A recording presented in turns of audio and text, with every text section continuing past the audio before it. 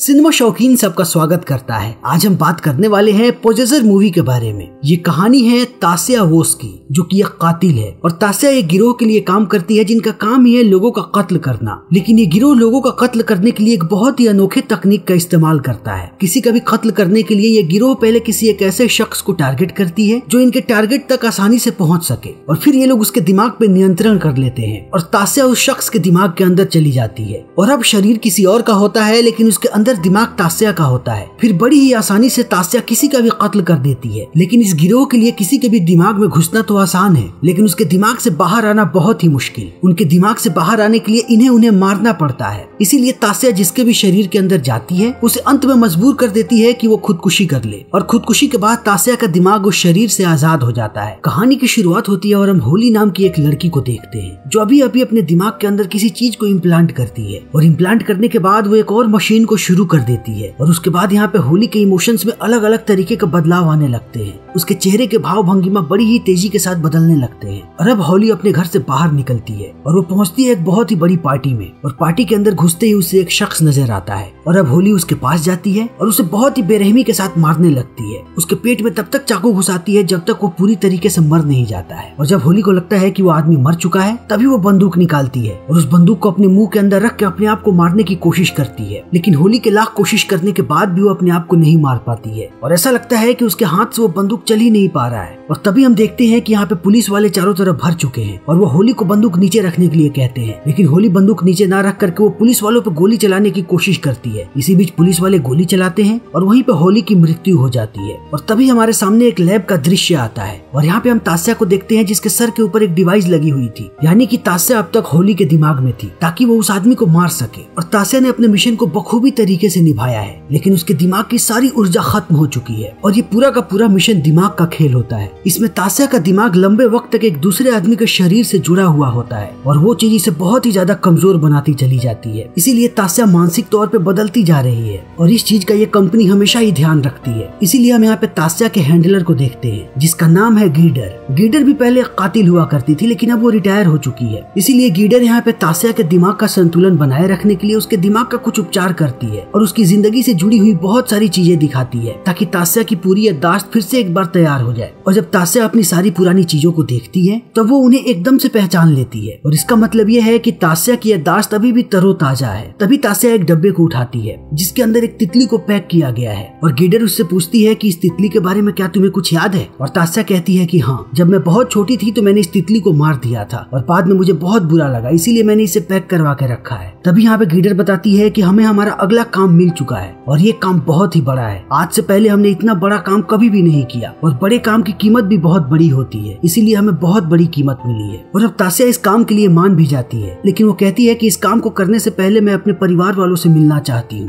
और इस बात को सुनते ही गीडर कहती है की हम जिस काम को कर रहे हैं, उस काम में हमें हमारे दिमाग को शांत रखना पड़ता है। इसीलिए हमें परिवार या फिर परिवार जैसी हर एक चीज़ से दूर रहना पड़ता है, ताकि हमारे दिमाग का संतुलन बना रहे और यही हमारे काम को बेहतर बनाती है। लेकिन तास्या कहती है कि फिर भी मुझे अपने परिवार के पास जाना है। और तास्या अपने परिवार वालों के पास निकल पड़ती है। तास्या के परिवार में उसका पति है, जिसका नाम है माइकल, और उसका एक बेटा है, जिसका नाम है ईरा। लेकिन अपने घर में अंदर जाने से पहले तास्या बाहर सारी चीज़ों की प्रैक्टिस करने लगती है कि वो अपने पति से कैसे बात करेगी और अपने बच्चे से कैसे बात करेगी। और ये ठीक वैसा ही होता है जैसे तास्या किसी के शरीर में घुसने से पहले करती है। वो सारी चीज़ों की ऐसी ही प्रैक्टिस करती है कि शरीर में घुसने के बाद वो बाकी लोगों से कैसे बात करेगी। और इस चीज़ को देखने के बाद हमें पता लगता है कि तास्या के दिमाग पे उस काम ने कितना गहरा असर किया है और अब तासिया घर के अंदर चली आती है और अपने पति और अपने बच्चे के साथ रहना शुरू कर देती है। लेकिन तासिया का काम यहाँ पर भी उसका पीछा नहीं छोड़ता। उसे बार बार अजीब अजीब दृश्य नज़र आते हैं। उसे हर जगह खून के धब्बे नज़र आते हैं, क्योंकि तासिया बहुत ही हिंसक है। इसीलिए उसकी हिंसा की झलकियाँ उसे नज़र आ रही हैं। और तास्या ऐसे ही अपने परिवार के साथ थोड़ा समय बिताती है और फिर अपने कंपनी में वापस लौट जाती है। और यहाँ पे गीडर तासिया को पूरी बात बताती है इस मिशन के बारे में। वो बताती है कि उन्हें एक बहुत ही अमीर आदमी को मारना है जिनका नाम है जॉन पार्से। और जॉन का सौतेला बेटा जॉन और उसकी बेटी एवा को मरवाना चाहता है, ताकि पूरी की पूरी संपत्ति उसकी हो जाए। लेकिन गीडर का प्लान और भी ज़्यादा खतरनाक है। वो तास्या को कहती है कि पहले हम जॉन को मारेंगे और फिर हम ताउम्र उसके सौतेले बेटे को ब्लैकमेल करेंगे,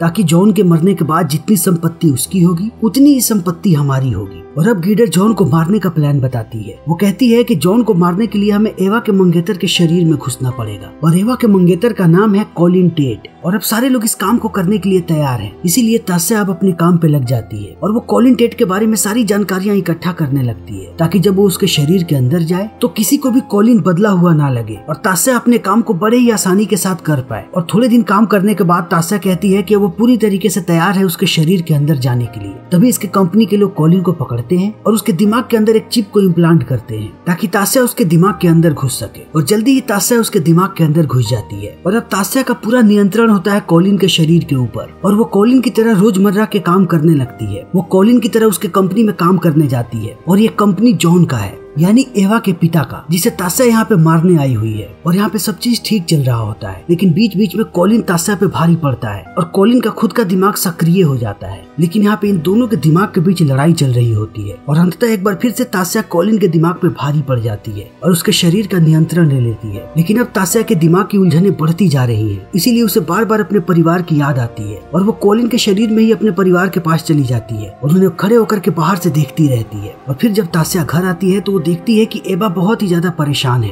क्योंकि एवा ने अपने दोस्तों को बुला रखा है। और जब भी एवा के दोस्त आते थे तो कॉलिन वक्त पे घर आ जाया करता था। लेकिन धीरे धीरे एवा को इस बात का एहसास हो रहा है कि कॉलिन बदलता सा जा रहा है। इसीलिए एवा उससे बात करने की कोशिश करती है, ताकि वो जान सके कि कॉलिन क्यों परेशान है। लेकिन यहाँ पे एवा को इस बात का आभास तक नहीं है कि आखिर कॉलिन के साथ क्या हो रहा है। और अब वक्त ऐसे ही बीतते जाता है, और अंततः वो दिन आ जाता है जब ये लोग जॉन को मारने वाले हैं। और यहाँ पे तास्या अपना काम शुरू करती है। वो सबसे पहले एक मशीन के सहारे कॉलिन के इमोशन में कुछ बदलाव करती है, जैसा कि हमने शुरुआत में देखा था। और अब कॉलिन उस जगह पे पहुँचता है जहाँ उसे जॉन मिलने वाला है। और कॉलिन पहुँचता है जॉन के पार्टी में। और यहाँ पे वो देखता है कि बहुत सारे लोग हैं। और तास्या इस बात को समझ जाती है कि यही वो मौका है जब सारी दुनिया को बता सकती है कि आखिर वो क्यों मारना चाहती है जॉन को। और कॉलिन के पास आखिर क्या कारण था कि उसने जॉन को मारा? इसीलिए तास्या यहाँ पे कॉलिन और जॉन का झगड़ा करवाती है। और जॉन और कॉलिन यहाँ पे बहुत ही बुरी तरीके से झगड़ते हैं। जॉन कॉलिन की बहुत बुराई करता है। और इस चीज़ को इस पार्टी में मौजूद सारे लोग देख रहे होते हैं। और जब ये झगड़ा ज़रूरत से ज़्यादा बढ़ जाता है, तब जॉन के गार्ड्स कॉलिन को बाहर फेंक देते हैं। और अब तासिया समझ चुकी है कि यही सही समय है अपने काम को अंजाम देने का। इसीलिए वो माफ़ी मांगने के बहाने पहुँचती है जॉन के घर पे, जहाँ एवा और जॉन खाना खा रहे होते हैं। और थोड़े ही समय के बाद एवा जैसे ही यहाँ से दूर जाती है, तास्या जॉन को बहुत ही बुरी तरीके से मारने लगती है, क्योंकि तास्या का रग रग में हिंसा भरा पड़ा है। और वो जिसे भी मारती है बहुत ही बेरहमी के साथ मारती है। और वो जॉन के साथ भी ऐसा ही करती है। और जॉन को मारते ही वो देखती है कि यहाँ पे एवा भी आ गई। इसीलिए वो एवा को भी मार देती है और यहाँ पे उसका मिशन खत्म हो चुका है। और अब तास्या का आखिरी काम यही है कि वो इस शरीर को खत्म करे और आज़ाद हो जाए। इसीलिए वो कॉलिन को मजबूर करती है कि वो अपने आप को गोली मार के खुदकुशी कर ले। लेकिन यहाँ पे एक बार फिर से वही होता है जो हमने कहानी के शुरुआत में देखा था। वो कॉलिन को मारने के लिए बंदूक नहीं चला पाती है। जैसा की वो होली को नहीं मार पा रही थी कहानी की शुरुआत में। और यहाँ पर भी उसके साथ यही समस्या हो रही है। और ये समस्या बढ़ती ही चली जाती है। और तास्या इस चीज़ से इतनी ज़्यादा परेशान हो जाती है कि उसे खून की उल्टियाँ होने लगती है। और गेडर इस चीज़ को देखने के बाद समझ जाती है कि तास्या के दिमाग पे हावी हो रहा है कॉलिन का दिमाग। यानी कि तास्या का नियंत्रण छूटता जा रहा है उसके दिमाग से। तभी हम कॉलिन और तास्या दोनों को बातें करते हुए देखते हैं और वो एक अजीब से जगह पे होते हैं और ये जगह है कॉलिन का दिमाग। और अब इनके दिमाग की लड़ाई ऐसे ही चलती जाती है। कभी तास्या कॉलिन पे भारी पड़ती है तो कभी कॉलिन तास्या पे भारी पड़ता है। और जब कॉलिन अपने दिमाग को सक्रिय करता है तो वो भागता हुआ पहुँचता है एवा के एक दोस्त के पास, जिससे कभी कॉलिन के नजायज संबंध हुआ करते थे। कॉलिन यहाँ पे इस लड़की से कहता है कि उसका एवा से झगड़ा हो गया है और उसे कुछ दिनों के लिए यहाँ पे रहना है। और कॉलिन ऐसा इसलिए करता है क्योंकि वो जानता है कि उसने जॉन और रेवा को मार दिया है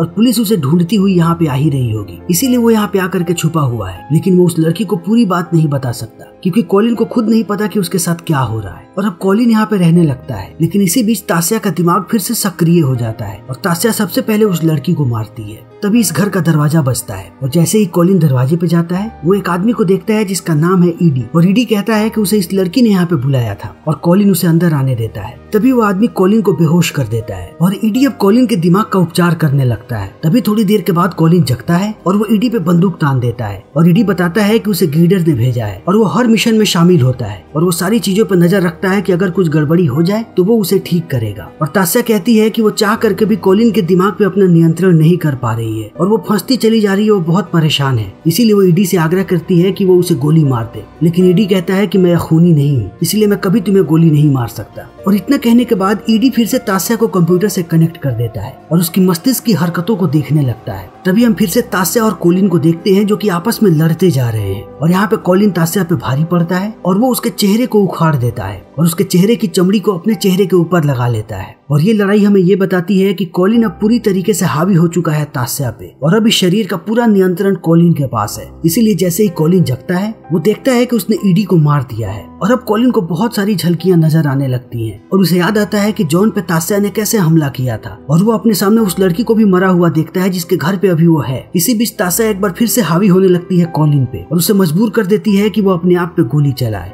लेकिन गोली चलते वक्त कॉलिन का दिमाग फिर से सक्रिय हो जाता है और वो अपने आप को बचा लेता है। लेकिन अब तास्या और कॉलिन का दिमाग एक हो चुका है। इसीलिए कॉलिन को पता है कि तास्या की ज़िंदगी में सबसे महत्वपूर्ण चीज़ क्या है। इसीलिए उसे तास्या के परिवार के बारे में पता है। इसीलिए वो माइकल के पास पहुँचता है और उस पर बंदूक तान देता है। और अब तास्या को कहता है कि अगर अभी भी तुम मेरे दिमाग से बाहर नहीं आई तो मैं माइकल को मार दूँगा। और तास्या दिमाग में माइकल से कहती है कि अगर तुम इसे मारना चाहते हो तो मार दो, क्योंकि मैं बहुत वक्त से इसे मारने की कोशिश कर रही हूँ। और इन बातों को सुनने के बाद कॉलिन और भी आश्चर्यचकित हो जाता है। तभी मौका देख के माइकल कॉलिन को धक्का देता है और यहाँ से भागने लगता है। तभी कॉलिन एक बड़ा सा चाकू उठाता है और वो बड़ी ही बेरहमी के साथ माइकल को मारने लगता है। और माइकल को अभी कॉलिन नहीं, बल्कि तास्या मार रही है, क्योंकि तास्या किसी को भी बड़े ही बेरहमी के साथ मारती है। और माइकल को मारने के बाद वो अपने आप को मारने की कोशिश करती है ताकि वो इससे बाहर निकल सके। तभी हम तास्या के बेटे ईरा को देखते हैं, जो कॉलिन के गले में एक चाकू घुसेड़ देता है, जिससे बहुत सारा खून निकलने लगता है। और अभी कॉलिन के शरीर में तास्या सक्रिय है, इसीलिए वो ईरा यानी अपने बेटे पे अंधाधुन गोलियाँ चलाने लगती है और वो अपने बेटे को मार देती है। और अब कॉलिन भी धीरे धीरे मरता जा रहा है और ईरा भी धीरे धीरे मरता जा रहा है। और मरते वक्त ईरा कहता है की मुझे यहाँ से बाहर निकालो। और ये शब्द वही लोग कहते हैं जो किसी के दिमाग के अंदर घुसे हुए हैं। यानी कि ईरा के दिमाग के अंदर भी अभी कोई घुसा हुआ है। और अब कॉलिन और ईरा दोनों एक साथ मरते हैं और हमारे सामने लैब का दृश्य आता है और हम यहाँ पे तास्या और ग्रीडर को जगते हुए देखते हैं और हमें पता चलता है कि ईरा के दिमाग में कोई और नहीं बल्कि खुद ग्रीडर थी, जो कि तास्या को वहाँ से बाहर निकालने की कोशिश कर रही थी और उसके साथ साथ वो चाहती थी कि तास्या अपने परिवार को खत्म कर दे, क्योंकि तास्या का परिवार उसे मानसिक तौर पर कमज़ोर बनाते जा रहा है। और अगर तास्या इन सारी चीज़ों से बाहर निकल गई तो एक बहुत ही बेहतरीन कातिल बनेगी, जो इनके कंपनी के लिए बहुत ही फ़ायदेमंद साबित हो सकता है। और फिर से तास्या को उसकी सारी चीज़ें दिखाई जाती है और तासिया एक बार फिर से उस तितली को उठाती है और जब गीडर उससे तितली के बारे में पूछती है तो वो वही कहानी बताती है। लेकिन इस बार तासिया इस बात को नहीं कहती कि उसे तितली को मारने पे किसी किस्म का कोई भी अफसोस है। और इससे ये साबित होता है कि तासिया अब पूरी तरीके से एक कातिल बन चुकी है और अब उसके लिए रिश्ते नाते कोई मायने नहीं रखते। अब वो किसी को भी कभी भी मार सकती है, क्योंकि हिंसा अब उसके रग रग में खुश चुका है, और ये फ़िल्म यहीं पे खत्म हो जाती है। तो दोस्तों, हमारी आज की ये वीडियो यहीं पे खत्म होती है। उम्मीद है कि आपको हमारी ये वीडियो पसंद आई होगी। अगर आपको हमारी ये वीडियो पसंद आई हो तो इसे लाइक करें शेयर करें, और चैनल को सब्सक्राइब करें। Thank you